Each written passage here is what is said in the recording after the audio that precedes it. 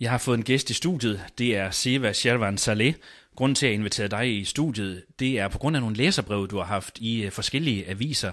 Hvad var baggrunden for, at du lavede de her læserbreve? Jamen, det var igen, at øh, det, jeg, mit første læserbrev, det kom ud, der, øh, da jeg havde en stiksamling kom ud, øh, fordi jeg følte mig ramt, og, øh, og det var en opfordring, jeg fik af min danslærer, øh, skøn kvinde. Øh, så det er der, det hele startede, øh, og så har jeg skrevet en i sidste uge, og så er den, der er kommet ud nu, med øh, aldrig væk fra ghettoen, øh, og den skrev jeg på baggrund af, at jeg følte, at øh, folk så mig meget som en indvandrer, øh, som øh, perker, næger og sort svin og sådan noget, jeg blev kaldt, øh, og det følte jeg ikke var særlig rart. Så følte jeg, at jeg skulle ud med det, og øh, det følte jeg som, at andre også skulle se, ikke kun min omgangskreds, men andre også udenfor, for jeg ved, at der er mange, der oplever det samme, som jeg gør. Du nævnte, at øh, det, der for alvor satte dig i gang, det var en oplevelse i skolen øh, med Yahya Hassans øh, digtsamling. Hvad var det for en oplevelse? Jamen, det var meget, at øh, jeg følte mig meget ramt af hans øh, digte, når han øh, læste dem op. Men det var fordi, at øh, jeg havde det som om, at folk så det som om, at alle indvandrere var, som jeg Hassans familie, at de alle sammen øh, slår deres børn, eller arbejder sort, eller får børn til at stjæle, og vi har en stand til at skære alle over en kamp, at øh, vi tror, vi er for at få nogle kontanthjælp, stjæle nogle biler og sælge nogle stoffer, og det passer jo ikke. Øh, der, jeg ligger ikke skjult på, at der er nogen, der er sådan, men vi skal ikke være for generaliserende, fordi det er ikke alle, der er sådan. Min familie er ikke sådan, for eksempel. Jeg kender andre familier, der ikke er sådan, og, øh, og derfor så, øh, så følte jeg, at det var vigtigt, at jeg det, som skrev det læsebrev, for at andre kunne se, at der findes også gode mennesker her i Danmark. Prøv at fortælle om, hvordan din familie er, hvad din historie er som indvandrer i Danmark. Jamen, øh, jeg kom til Danmark i 2001 øh, i september måned med min øh, familie, øh, og det gjorde jeg, fordi at jeg kom fra Kurdistan Nordirak, og dengang var der krig, altså det med Saddam Hussein, og vi flygtede også af fattigdom. Øh, og så øh, min far han er frisør i Sæby lige nu. Øh, min mor hun arbejder desværre ikke, og min bror han øh, er ved at tage en frisøruddannelse, og så går jeg på Søndergaards skole i 9. A, og øh, min fritid arbejder jeg på Q8 Øh, og det var sådan ligesom det, der sådan øh, er min historie til, Dan- øh, til Danmark. Du nævner det her med integration. Det er jo et evigt tilbagevendende debatemne, også blandt forskellige politiske partier. Der er nok også nogle politiske partier, der måske forsøger at høste nogle stemmer på den baggrund, fordi det er et emne, som mange mennesker kan forholde sig til. Men hvad er integration for dig? Jamen, integration for mig er at øh, forstå de danske værdier, acceptere de danske værdier som frihed, ytringsfrihed og frisind. Øh, jeg kan rigtig godt lide at bo i Danmark. Det er en gave, jeg har fået, som jeg formår at hvad hedder sådan noget, øhm, ikke udnytte med, at for eksempel, jeg begår ikke kriminalitet ved at udnytte det, men øh, altså, det er igen at acceptere de danske værdier og, og overholde de reglerne, fordi hvad, hvad vil det sige at være dansk? Altså Danmark har som sådan ikke en nationalitet, når man tænker Italien, så tænker man, hov, pizza.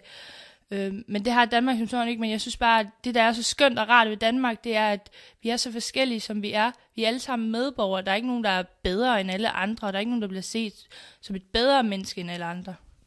Hvordan har du oplevet det at gå i skole i Danmark? Du er en ung pige, og du er snart 16 år nu. Øh, oplever du nogle ting, som ikke er så behagelige? Jeg tror igen, det er det der med at blive kaldt sort svin eller nære, eller skride hjem til ghettoen for eksempel, eller tage hjem til dit næreland, det, det synes jeg det er det mest ubehageligt. Og det har jeg oplevet lige siden første klasse, jeg startede på skolen.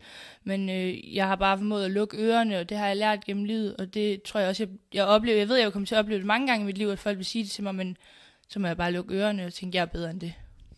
Som ung 16-årig pige står man med en masse udfordringer her i livet. Det gør alle 16-årige piger, også unge mænd for den sags skyld. Men du står måske med nogle ekstra udfordringer. Du har en kultur, du har fået med hjemmefra, som du er taknemmelig for, og som du kan bruge til en masse. Og så har du den nye kultur, som du har lært gennem dit liv her i Danmark. Hvordan er det at være 16-årig pige og have to forskellige baggrunde, om man så må sige? Det kan være rigtig svært, fordi at øh, jeg skal igen formå at integrere mig og leve efter den danske kultur, men også med respekt for min egen kultur. Og jeg tror, det er det, mange politikere ikke vil forstå, at det er ikke bare noget, man kan lægge bag sig. Det tog for eksempel min mor fem år, og så smide sit tørklæde. Det var heller ikke noget, hun gad, men det var som sådan noget, min far nærmest tvang hende til, fordi at vi bor i Danmark, det er ikke nødvendigt at gå med tørklæde. Øh, men jeg har respekt for dem, der selvfølgelig også gør det, og det skal vi også som mennesker have, respektere folk, der går med tørklæde. Øhm, så det kan det være svært nogle gange, fordi det er sådan to modsætninger, man skal få dem til at mixe og passe sammen nogle gange, så det kan godt være hårdt en gang imellem. Hvad er det, der får dig til at, at sige, at jeg træffer det valg på det område, og det her valg på det område? Du nævner selv tørklæde. Du går ikke med tørklæde, for eksempel. Nej, øh, jeg tror igen, det er gennem mine forældre, der, der også har integreret sig på en måde, at de har sagt, at øh, nu bor vi jo i Danmark, og der er ikke noget galt i, hvis man går med tørklæde, hvis man ikke går med tørklæde, for vi har jo ytringsfrisind.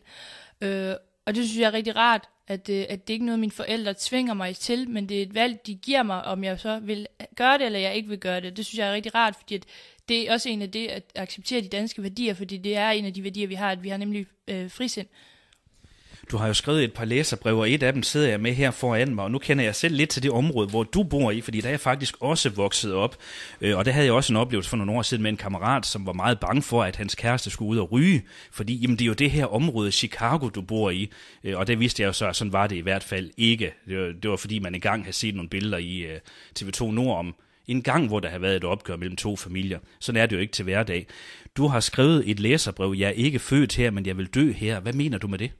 Altså det er igen, jeg kan, ikke, jeg kan ikke sige, at i Danmark er jeg født, fordi jeg er ikke født her.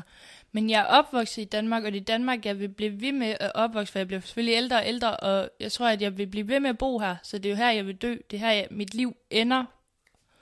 Så... Hvad regner du med at få af respons på læsebrevet? Forventer du nogle reaktioner? Nej, jeg forventede faktisk ikke så mange reaktioner, som jeg har fået. Jeg vil faktisk gerne takke alle dem, som har læst dem og delt dem og liket. Og jeg faktisk, øh, jeg stod i øh, en læseprøve her i går, og lige pludselig så får jeg en besked, øh, en privat besked af en, som havde læst den over, øh, i politikken, som øh, roste mig helt vildt og synes det var rigtig øh, rart, at jeg, at jeg tør at springe ud som, øh, som en ung pige.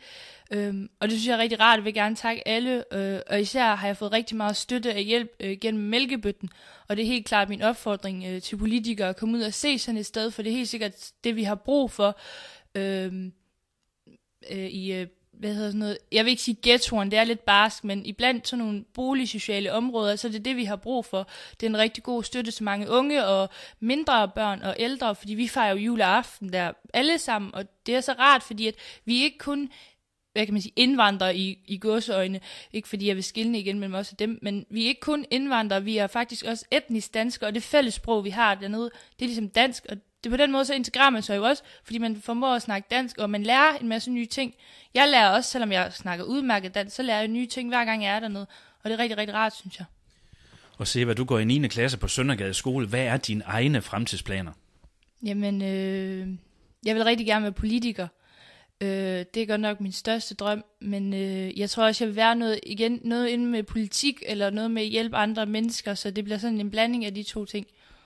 I hørte her Seva Shervan Saleh, og I har altså mulighed for enten at øh, få et genkig med læserbrevet på hendes Facebook-profil, eller eventuelt genhøre dette interview her på Radio 101,2 FM's Facebook-side eller YouTube-kanal.